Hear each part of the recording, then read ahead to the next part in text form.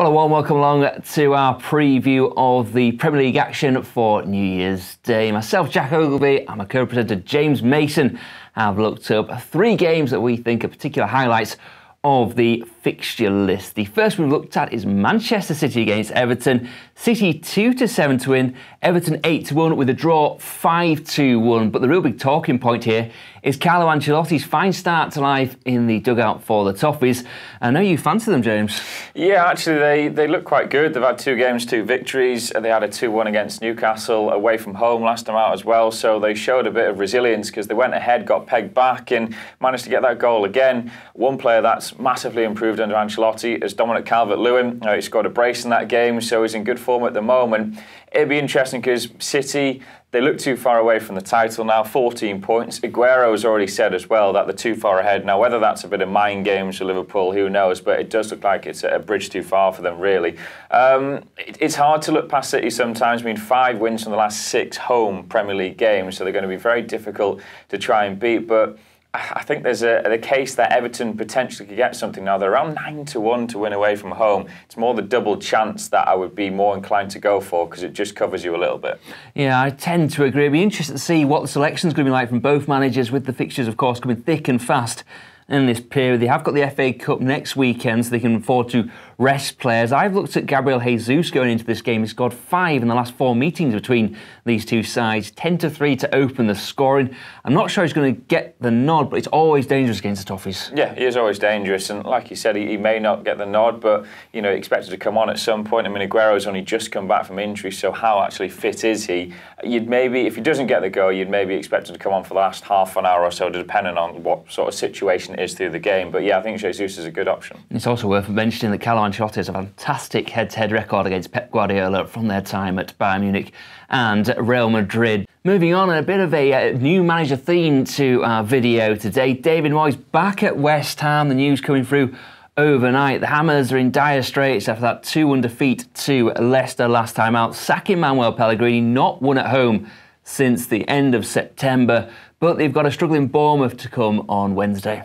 Yeah, and I think for Moyes, this is probably a good game to go into for his first one. I mean, West Ham have done a full 360, haven't they, from having and getting rid of him, Pellegrini, sacking him, and bringing him back in. so, you know, he's got a he's got a job on his hands, but I think obviously Moyes knows that the bulk of the players in there anyway, so I think he'll be able to get the best out of them. But Bournemouth, yeah, they're on a massive slide down the division at the moment. They're looked horrible in that defeat against Brighton. I mean, Eddie Howe said he was happy with them so, sort of like the last half an hour of the first half. But I still think they were pretty poor.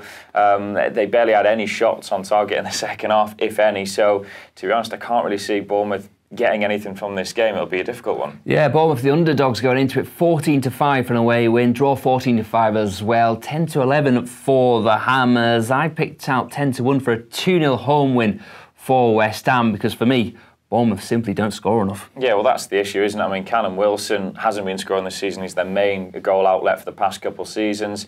Josh King hasn't been doing very well. He's picked up injuries along the way as well. They're sort of relying on their younger players, their inexperienced players, to try and bring them through this little passage of play, this period of the season and at the moment they're not doing it. And you know they picked up an injury at the back as well with Jack Stacey going off injured against Brighton. So there's a lot of issues I think for Eddie Howe to deal with. Yeah, finally to the late game, Arsenal against Manchester United. In days gone by, this would have been a title decider. This match, wouldn't it? Even at this stage of the season, but both these sides are struggling. I have to say, actually, Manchester United are coming round a bit. They won the last two in pretty convincing fashion, but Arsenal, Mikel Arteta, where does he go from here? Losing 2 1 at home to Chelsea on Sunday. I still don't see the difference between himself and Unai Emery. No, well, that's the issue, isn't it? He's come in and it's still the same sort of style of play. It's still the same issues. You know, there they look good going forward, not as clinical as they could be, but it's at the back where they've got massive issues. I mean, Bernd Leno, you can't really legislate for that kind of error that he made against Chelsea, but they, they just give up opportunities, I think, and that is what mm. happened. You know, he thought that, he thought they were the better team really throughout that game.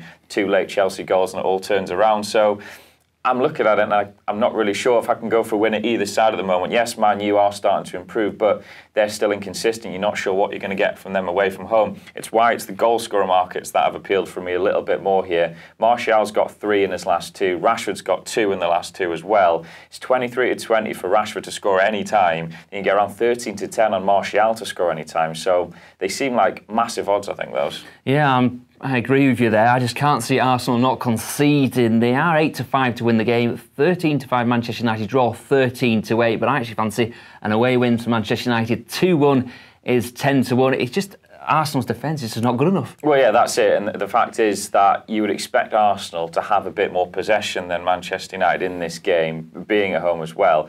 And then the fact is that United like to hit teams on the break. That's where they've done their better work this season. So that'll bring into the, the pace they've got with Rashford, Martial, Dan James if he plays.